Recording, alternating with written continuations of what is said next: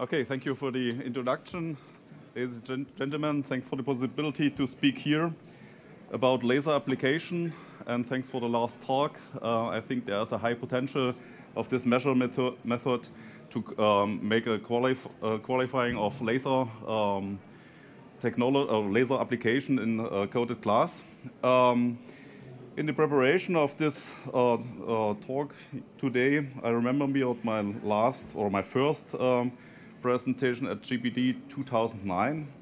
In former time, I spoke about laser technology for the purpose of uh, uh, glass marking. And in the former time, there was only two or three uh, laser technologies uh, uh, speakers, um, and they speak about laser technology in the lab status. Uh, and now I ask me the question, okay, um, today, is the laser a tool for architectural glass processing?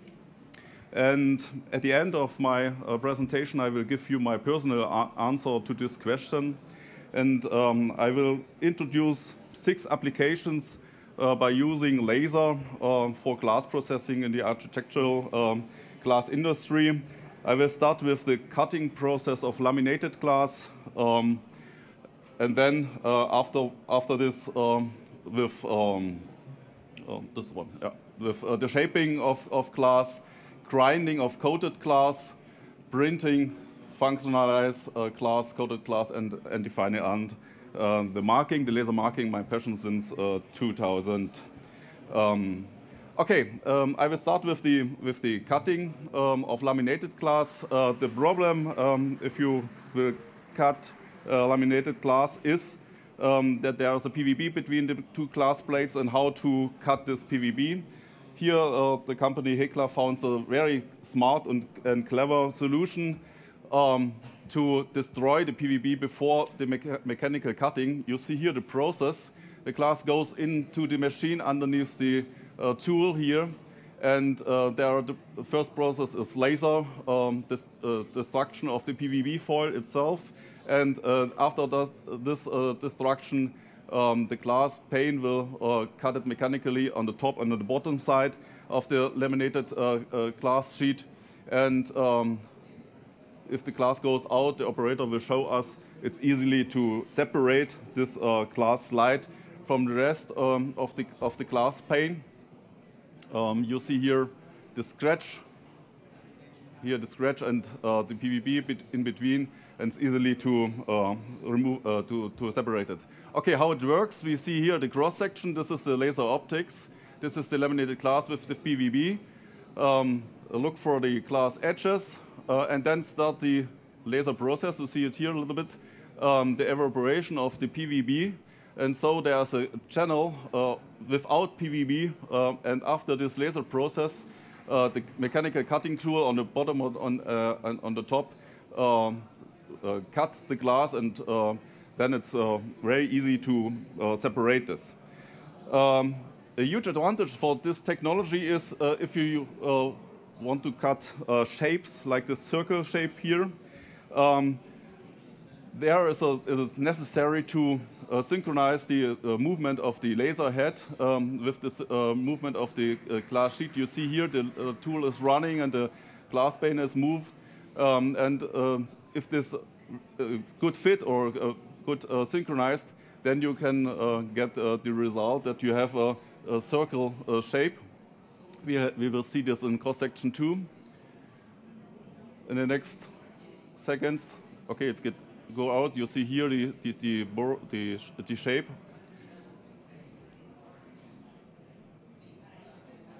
And now it's go, go in and we see the uh, cross section, the PVB comes, the laser process starts now, and you see the glass uh, pane is moved uh, as well as the uh, laser head. And after the laser process, we have the mechanical cutting on both sides, uh, on the top and uh, on the uh, bottom of this. And then we, it's easily to separate this circle bow from, the, from the rest of the glass sheet. The operator will show us um, this Im immediately. And now it's separated. Yeah. Yeah. This was the first application um, I showed you of using laser. This application is only possible uh, by laser, uh, by using laser sources. Um, the next one I will show you to you is um, collaboration with the company MDI. Um, it is possible to um, make holes inside the glass. You see here, oh, the laser process is running. Uh, please try it again. Okay. From um, the bottom to the top, um, this is a laser ablation process. That means the laser removes material from the glass it's, itself. And after uh, the end, uh, we, we see we have a hole inside the, the glass. The edge of, the, of such a hole is very fine. There's no need for um, after um, uh, seaming processes or something like, something like this. It's a dry process. Uh, that means there's no washing process needed, um, and the glass ca can uh, goes directly to the next um, uh, production step. And it's possible to make different shapes, as you can see here.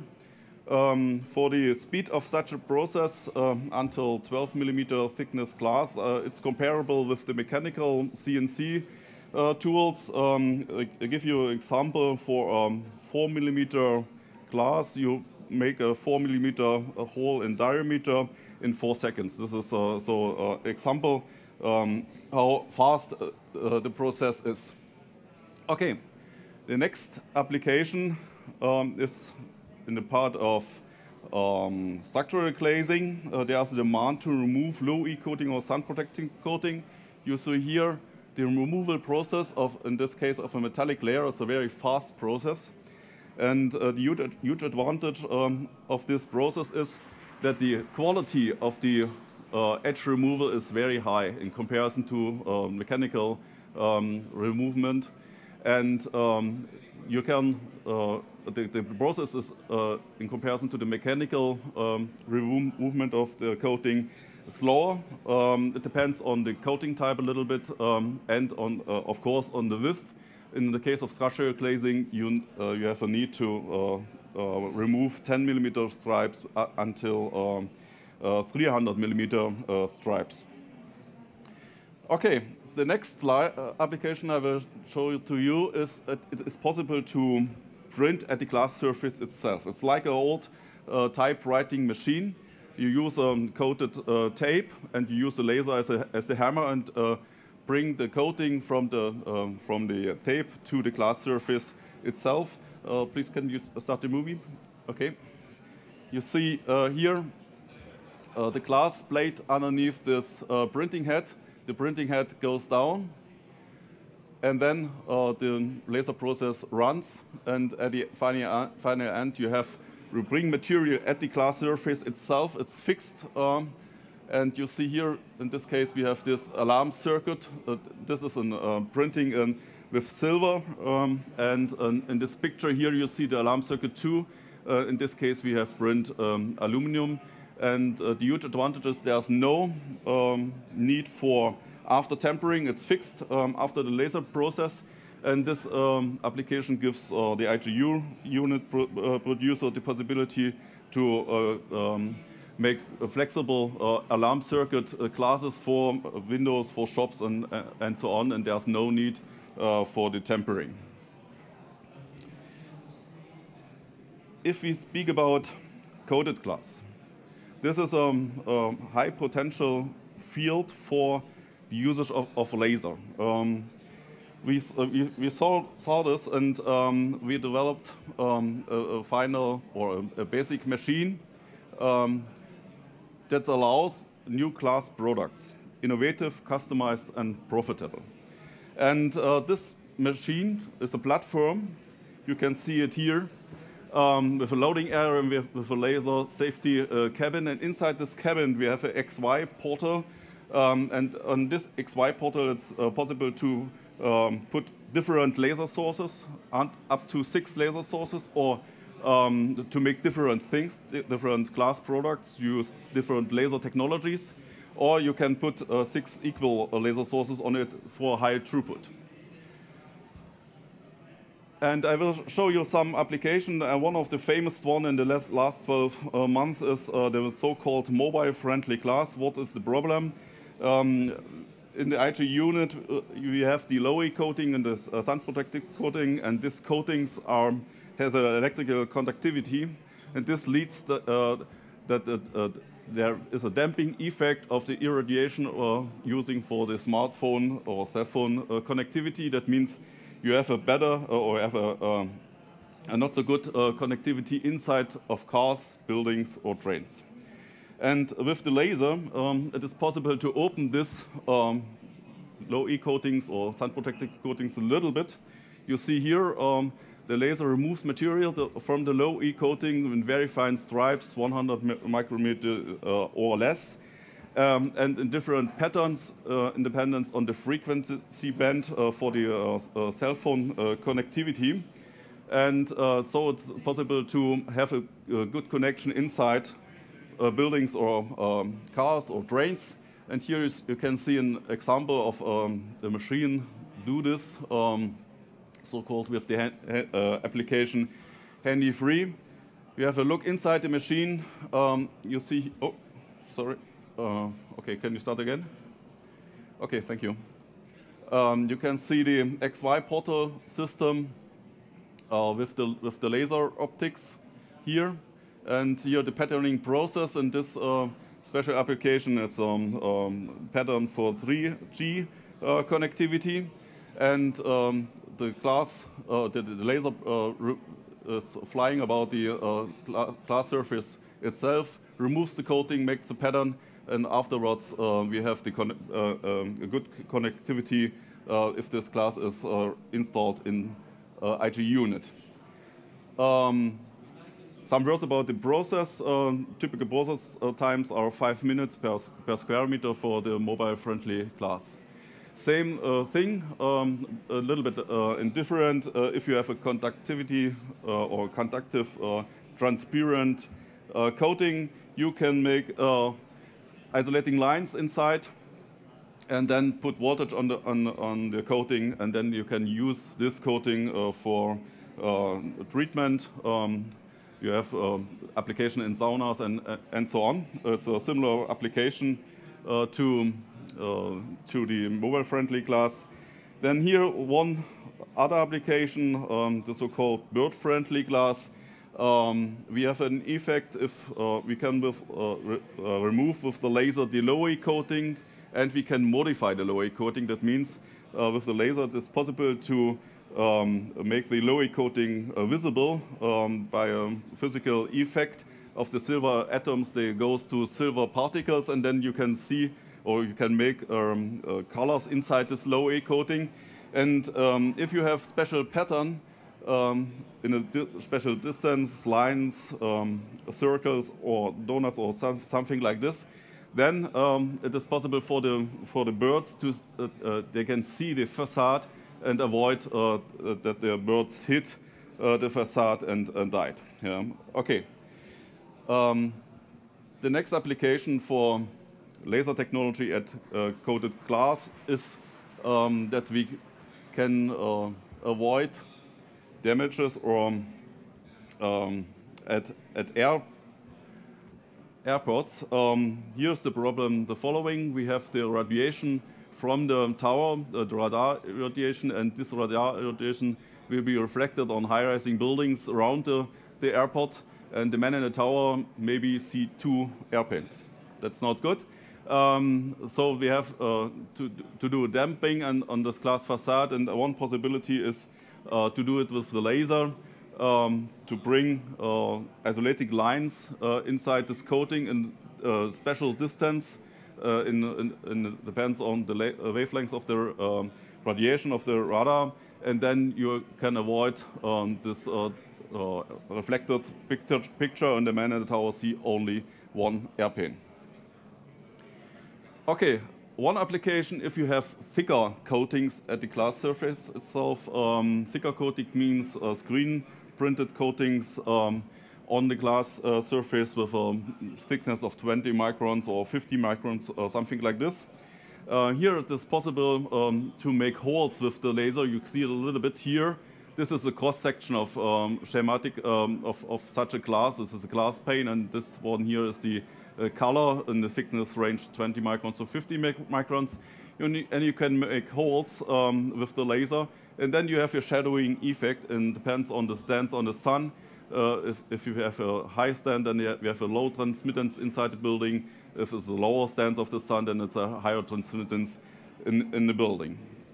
It's an application for thick um, uh, uh, coatings. Okay, how it looks, such machines, we have different types. Here you can see a reverse machine, that means a loading, unloading area, laser safety cabin with the XY portal um, inside. Uh, we have um, inline system 2 with the loading area, with the laser uh, patterning uh, area in the safety cabin and the unloading um, area. Um, or you can see a special machine. You, you can load uh, jumbo sheets with the uh, directly in the LaserBird machine. Uh, the cover is open then for this purpose and uh, for the laser process, of course, the cover will be closed.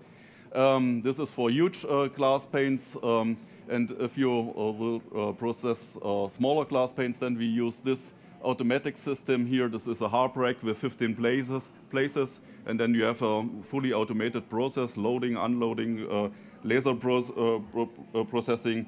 In this type, we have do it for, for drain classes. Um, yeah.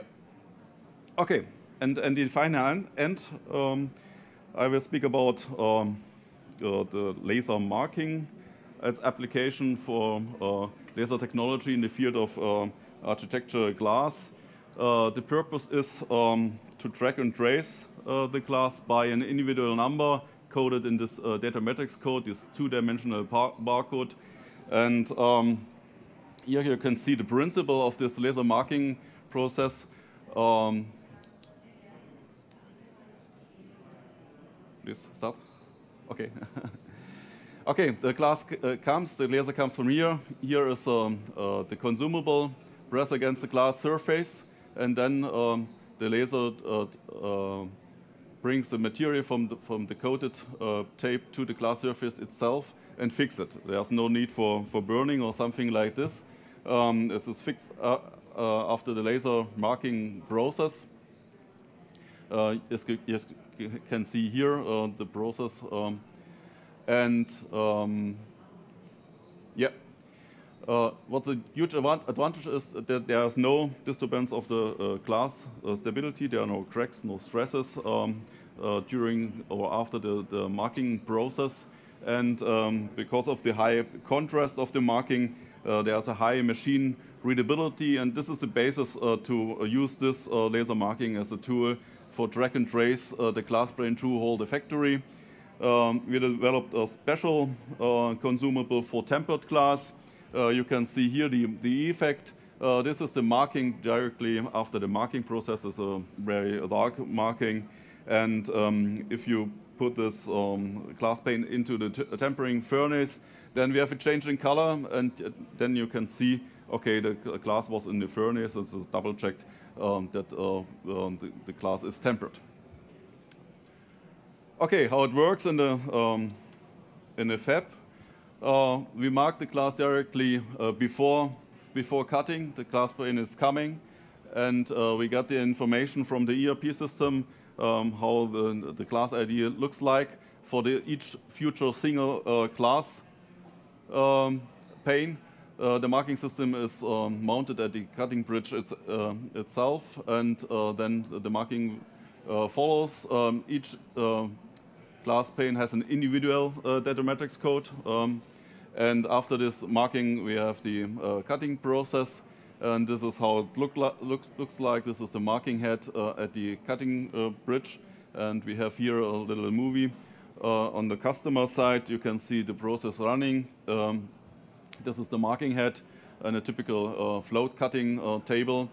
And um, the marking time for, for such a, a, marking depends on the size of the marking, the filling uh, degree, uh, and in typical times two seconds uh, up to six seconds uh, per marking. And after this marking um, um, process, uh, we have uh, the possibility to cut the glass, and each uh, single glass pane has then an individual number, number and it's possible to track and trace um, this through whole the factory. Okay, this is other example to integrate such um, a marking system on a vertical line. uh, to mark fixed-cutted uh, glass panes.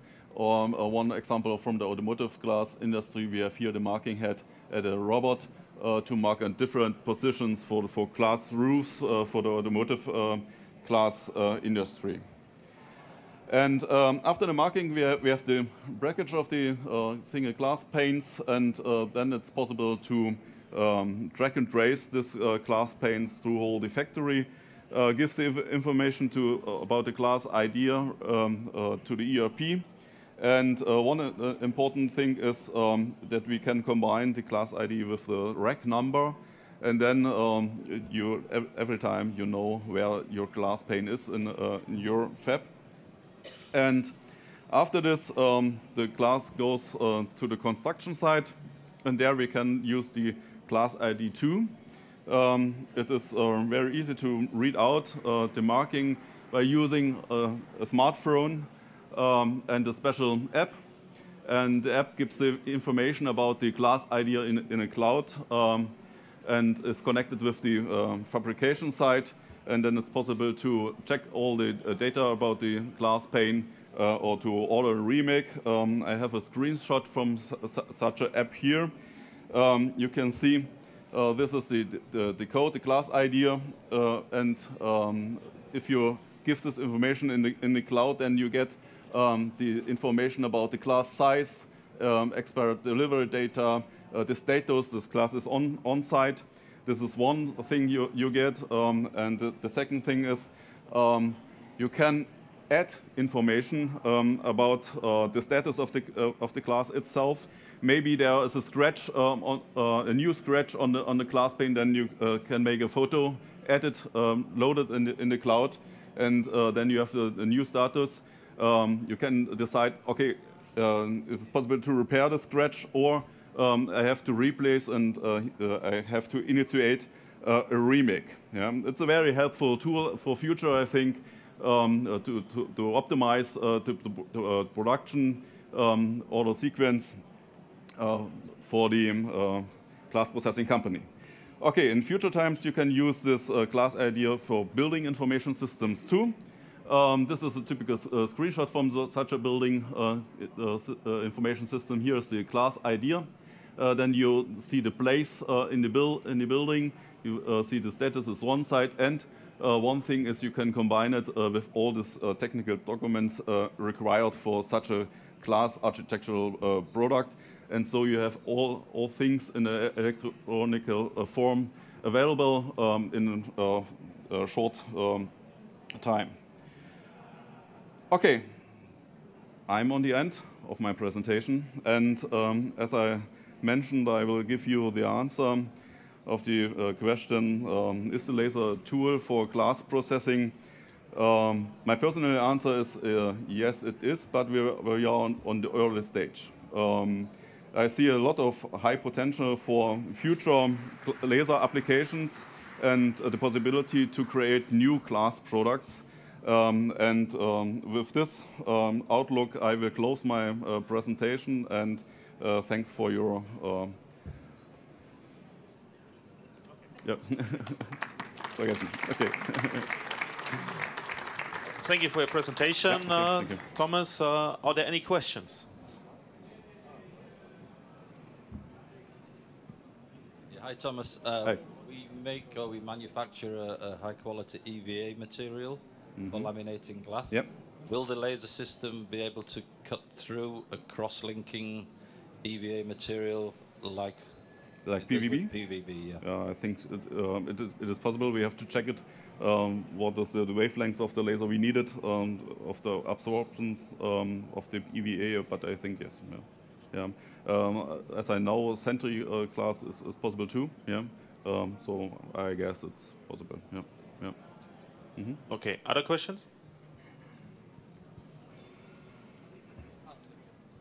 Uh, I have also a question. Uh, you said that you make stripes for the birds that they mm -hmm. die, and also for the radar.